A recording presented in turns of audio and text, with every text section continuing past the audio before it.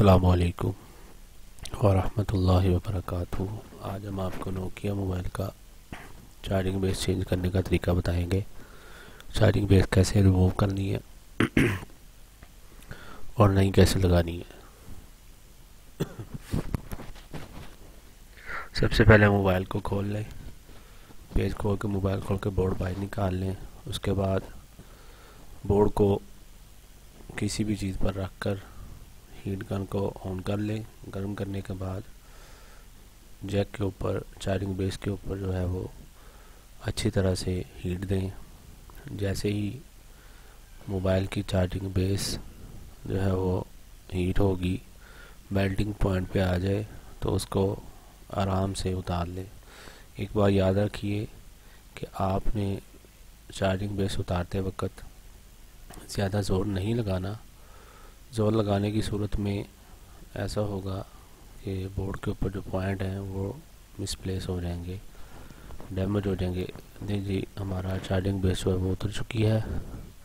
اب ہم کیا کریں گے؟ سرفیس کو اچھی طرح سے صاف کر لیں گے۔ صاف کرنے کے لیے آپ جو ہے وہ کاٹن بٹ کا استعمال کر سکتے ہیں۔ کاٹن بٹ جو ہے اس کو ہلکا سا کوئی بھی لیکوڈ لگا لے وہ آپ اس کے لیے سی ٹی سی استعمال کر سکتے ہیں۔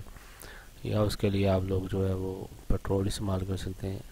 اچھا اس کے بعد جو ہے چارجنگ بیس کے جو پوائنٹ ہے گراؤنڈ بورڈ کے اوپر ہے، اس کو اچھی طرح سے سولڈ کر لیں۔ کوئی دیکھنے کو پوائنٹ جو ہے وہ اگر نہیں بنا ہوا، وہاں پہ سولڈر کر لیں۔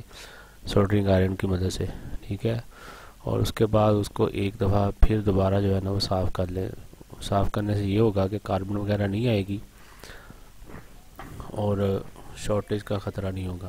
اب ہم نے نیا چارجنگ بیس لے لی ہے۔ چارجنگ بیس کے جو پوائنٹ ہیں، ان کے اوپر ہلکا سا سولڈر لگا لیں۔ اس سے یہ ہوگا کہ جیسے ہی آپ موبائل کے بورڈ کے اوپر جو ہے وہ چارجنگ بیس کو لگائیں گے، تو وہ سولڈرنگ اچھے طریقے سے ہو جائے گی اور اچھی طرح سے بورڈ کے ساتھ گرپ کرے گا۔ اچھی طرح سے پوائنٹ کو جو ہے وہ سولڈر لگا لیں۔ ٹھیک ہے جی یہ ہم نے سولڈر لگا لیا۔ اب سولڈر لگانے کے بعد ہم بورڈ کو بورڈ کے سائڈوں پہ جو اس کی جو لیگس ہوتی ہیں، اس کے اوپر بھی لگا لیں۔ سینٹر کے اندر جو ہے چارجنگ بیس کے سینٹر میں ایک جوڑ ہوتا ہے۔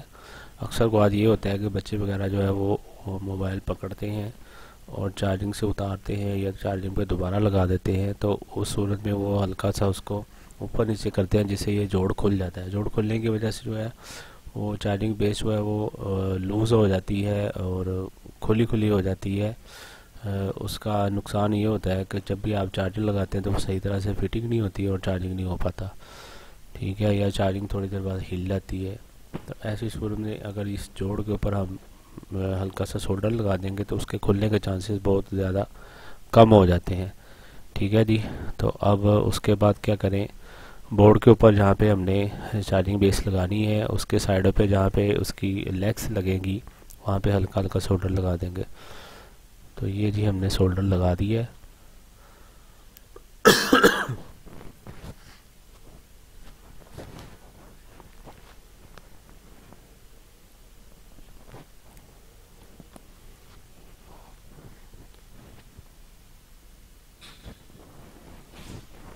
ہیٹ گن کو آن کر لیں جیسے ہیٹ گن گرم ہوگی تو آپ نے اس کو چارجنگ بیس والی جہاں پہ چارجنگ بیس لگے گی، اس جگہ کو نیچے سے آپ نے ہیٹ دینی ہے۔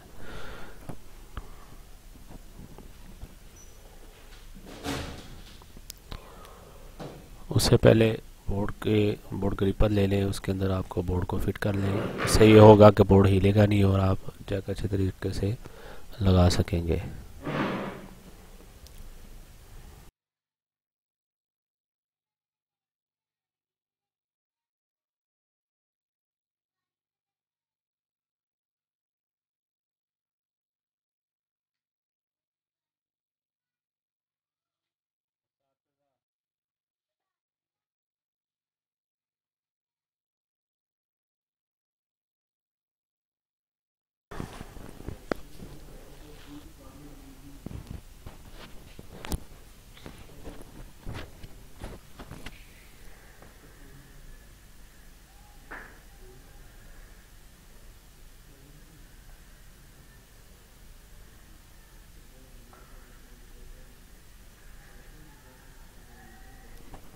ایک بار یار کی بورڈ کو آپ نے نیچے سے ہیٹ دینی ہے، ٹھیک ہے؟ نیچے دیکھ لیں گے وہ کمپوننٹس نہیں لگے ہوئے، تو آپ نے کیا کرنا ہے؟ نیچے کی طرف سے ہیٹ سے دینی ہے۔ جیسے ہی میلٹنگ پوائنٹ پہ آ جائیں شولڈر تو آپ نے جیک کو جو ہے ٹویزر کی مدد سے اٹھانا ہے۔ ٹویزر کی مدد سے اٹھا کے آپ نے جیک کو جو ہے اس کے پوائنٹس کے اوپر رکھ دینا ہے۔ پوائنٹس پر رکھنے کے بعد ہلکا سا آپ نے دباؤ دینا ہے۔ یہ دیکھیں جی ہم نے جیک رکھ دی ہے، نیچے سے ہیٹ دی ہے۔ اور جیسے ہی ہم دیکھیں کہ جیک اپنی جگہ پر چارجنگ بیس اپنی جگہ پر بیٹھ گئی ہے، تو ہم نے اس کو ٹھیک ہے جی ہیٹ دینا بند کر دینی ہے تاکہ بورڈ کہیں جل نہ جائے یا چارجنگ بیس نہ جل۔ ایک بات یاد رکھیے کہ جب آپ نے جیک یا چارجنگ بیس لگانی ہے، تو ہیٹ کم رکھنی ہے ایک کم رکھنی ہے اور ہیٹ زیادہ رکھنی ہے، ٹھیک ہے؟ اس صورت میں یہ ہوگا کہ چارجنگ بیس کے جلنے کے جو ہے وہ کم ہوں گے چانسز ٹھیک ہے جی؟ تو اچھی طرح سے دیکھ لیں یہ جی ہمارا جو چارجنگ بیس ہے وہ سولڈ ہو چکی ہے۔ اب ہم اس کو اتار لیں گے، تھوڑی دیر ٹھنڈا ہونے کے بعد بورڈ